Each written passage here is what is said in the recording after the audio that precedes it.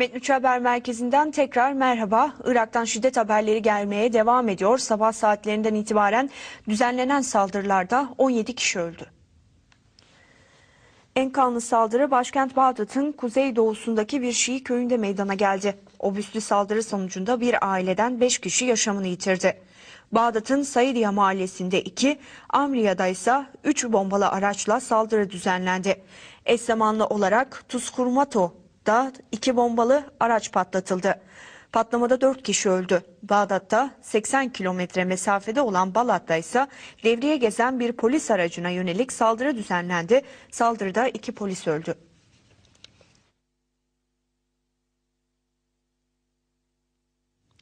...21 Ocak'ta başlayan Cenevre 2 konferansı başarısız. Açıklama konferansın yürütücüsü Birleşmiş Milletler ve Arap Birliği'nin Suriye özel temsilcisi El Ahdar El Brahimi'den geldi. Bazı Suriyeli gruplar ve rejim heyetleriyle iki kez bir araya gelen El Brahimi basına bilgi verdi. Durum çok zor ve çok karmaşık. Adım atmıyoruz, yarım adımlarla ilerliyoruz. Çok fazla şey elde edemedik dedi. Tutuklular konusunda konuşmak üzere anlaştık diyen Brahimi, iki heyetin görüşmelerinin süreceğini söyledi. Cenevre 2 konferansının çözüm amacı taşımayacağı Kürt tarafı tarafından ifade edilmişti.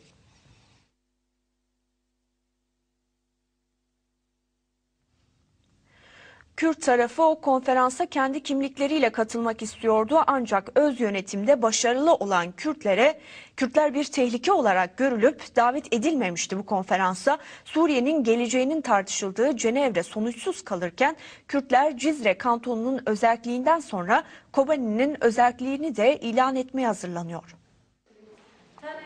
22 Ocak'ta Rojava'da Cizre kantonunun özel yönetiminin ilanı gerçekleşmişti. Yarın da Kobane kantonu özellik ilanını gerçekleştirecek. Kobane'yi 29 Ocak günü Afrin takip edecek. Orta Doğu'da ilk olma niteliği taşıyan özellik sistemi halkları kucaklıyor. Kürt, Arap, Asuri ve Ermeni temsilcilerin yer aldığı sistem demokrasinin inşasının da ilk adımı. Örneğin Cizre kantonunda olduğu gibi Kobane'de de yemin töreninde ulusal vurgu olmayacak. Geçici Demokratik Özerk Yönetim Yasama Meclisi ile halklar irade beyanında bulunacak. Böylece halklar Rojava'da Suriye'de üçüncü bir güç olduklarını gösterecek. Çözümsüzlük buluşması olan Cenevre 2 konferansının başladığı güne ilk mesajı demokratik sistem işte böyle olur şeklinde verildi. Rojavalı Kürtler alternatif ve demokratik bir yapı çerçevesinde halkların özgürlük modelini esas aldıklarını ifade etti. Rojava 19 Temmuz 2012 tarihinde kansız bir devrim gerçekleştirdi ve aradan geçen süre zarfında demokratik yaşamın kurumlaşmalarına gidildi. Kobane'de yarın ilan edilecek özelliğin altyapısı iki yıldan bu yana öncülüğünü Kürtlerin yaptığı bu model ile şekillendi. Rojava Halk Devrimi'nin ilk günlerinde Kobaneliler ilk kez tanklar ile tanıştı.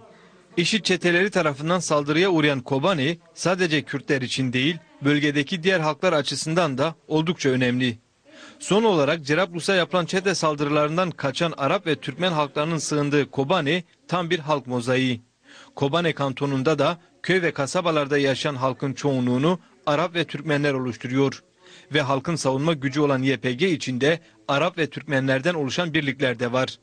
Halkın mozaiği Kobane kantonunda tüm halklar yarın ilan edilecek özellik sistemiyle birlikte mecliste temsilini bulacak.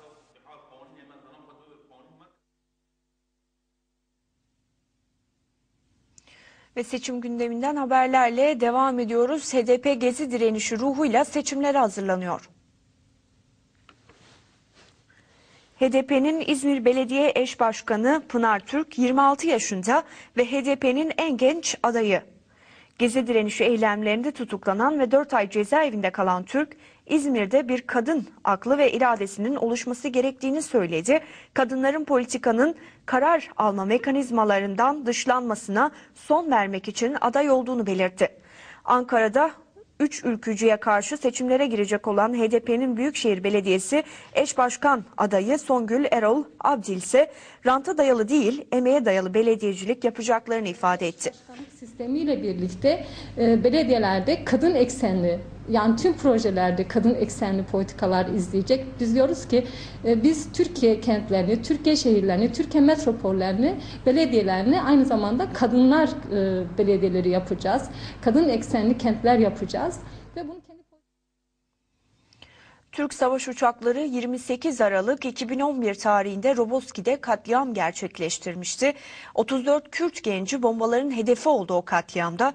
Katliam aydınlatılmadığı gibi ailelere de zulüm politikaları uygulanıyor. Bu da yetmedi. Cezalar, gözaltılar, baskılar daha düne kadar devam ediyordu. Bu baskılara bir yenisi daha eklendi.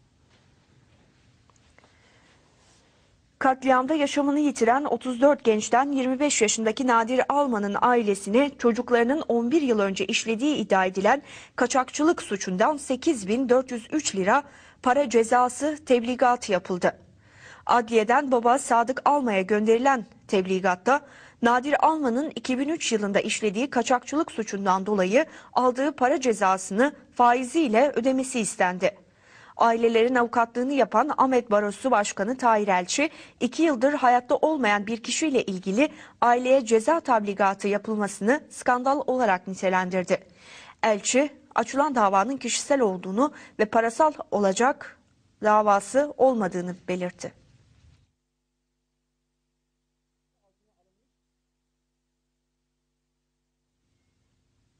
Ölüme terk edilen hasta tutsakların özgürlüğüne kavuşması ve tedavi edilmesi için mücadele devam ediyor. 2012 yılından bu yana İHAD, TİF, TUADER, SES, Ahmet Barosu ve Tabip Odası tarafından oluşturulan komisyon çalışmalarını sürdürüyor. Ahmet Tabip Odası Başkanı ve Cezaevi Komisyonu üyesi Cengiz Günay inceleme sonuçlarını Adalet Bakanlığı'na sunacaklarını söyledi.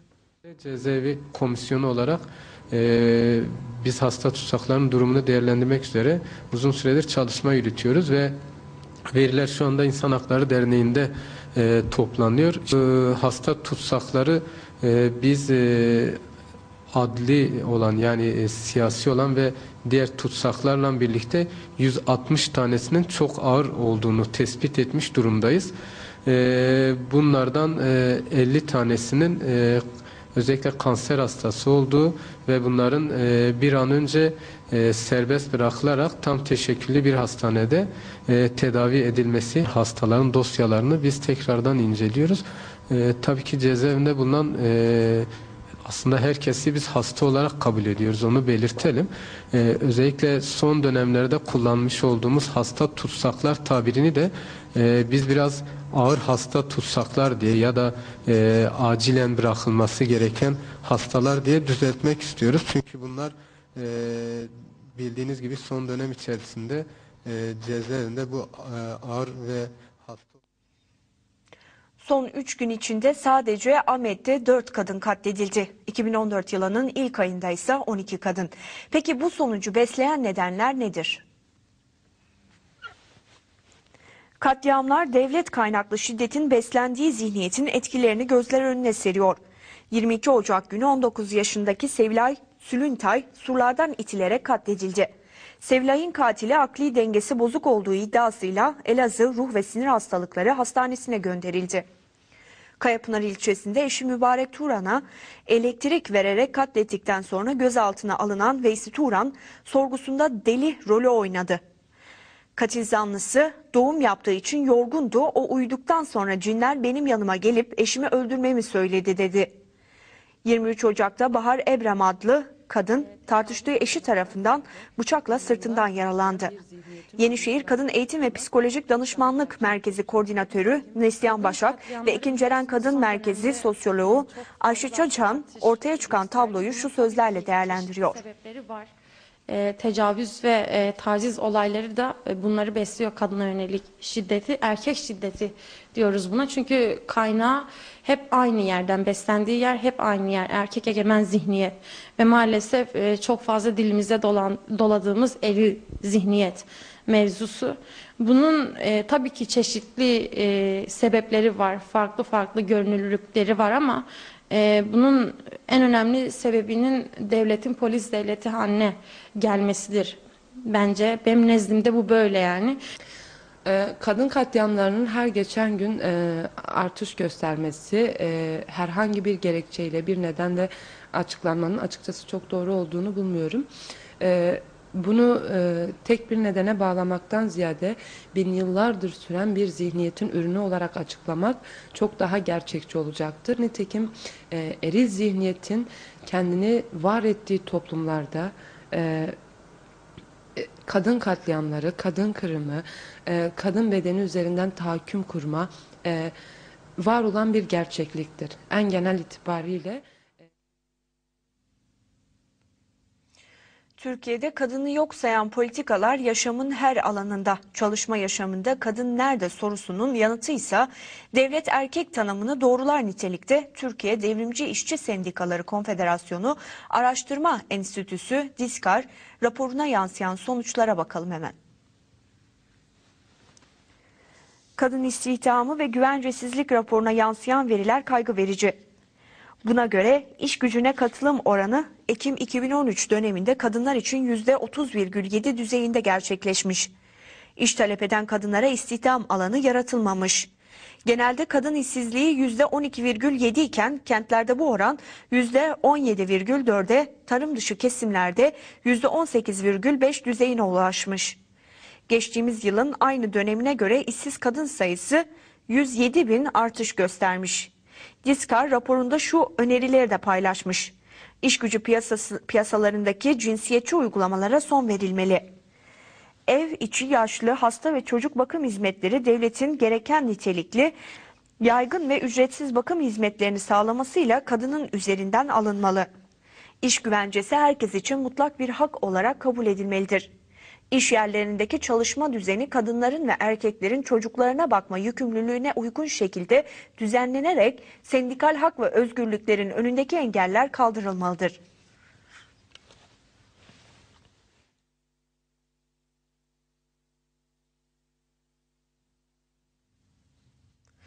Dünyadan öne çıkan haberler Ukrayna'da haftalardır devam eden ölümlerle sonuçlanan gösteriler ardından hükümetten açıklama geldi. Cumhurbaşkanı Viktor Yanukovych muhalefetin ana isteklerinin çoğunu kabul ettiklerini açıkladı. Yanukovych'in açıkladığı anlaşmaya göre Başbakan Nikolay Azarov görevden alınacak. Onun yerine ana muhalefet partisi vatan lideri Arseniy Yatsenyuk atanacak. İkinci muhalif lider Darbe Partisi lideri ve eski dünya boks şampiyonu Vitali Klitschko ise başbakan birinci yardımcısı olacak. Ayrıca yönetimin tek elde toplanmaması için anayasal değişiklik yapılarak başkanlık sisteminden parlamenter sisteme geçişi sağlayacak yasa değişikliği çalışmalarına başlanacak.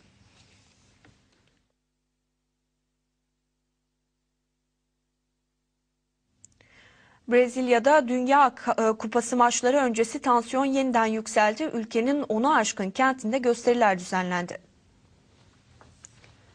São Paulo, Rio de Janeiro ve Brezilya gibi kentlerde düzenlenen gösterilerde taraflar arasında çatışma çıktı. São Paulo'da eylemciler banka, iş yerleri ve araçları ateşe verdi. Birçok dükkan da tahrip edildi. Eylemciler Dünya Kupası organizasyonu için yaklaşık 14 milyar dolar harcayacak olmasına tepki gösteriyor.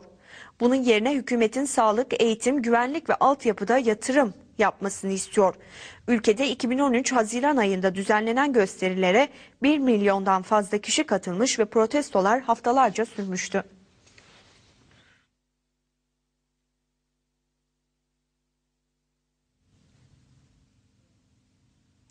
...18 bülteninde yeniden görüşünceye dek hoşçakalın.